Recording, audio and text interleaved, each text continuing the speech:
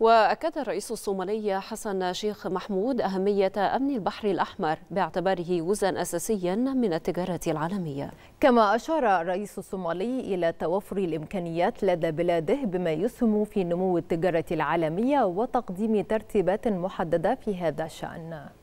البحر الأحمر هو جزء أساسي من التجارة العالمية والأمن. ويقدم وكذلك يقدم فرصا حالية ومستقبلية لجميع البلدان خاصة لدول الجوار التي تطل على البحر الأحمر وكذلك الخليج العربي.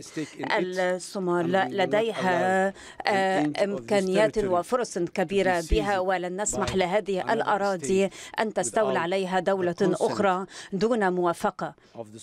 دون موافقة الدولة الصومال. ذات السيادة بما في ذلك إثيوبيا أو أي بلد آخر. وعلى الرغم من ذلك مثل البلدان الأخرى المسؤولة عن بعض الأصول في البحر الأحمر فالصومال كذلك على استعداد لتيسير النمو التجارة العالمي